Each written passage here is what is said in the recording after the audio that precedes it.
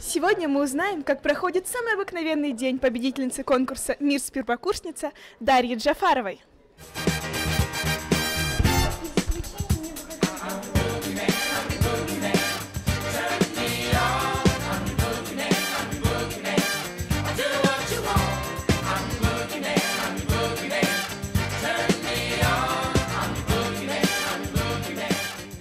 Даша, ночью спать или танцевать?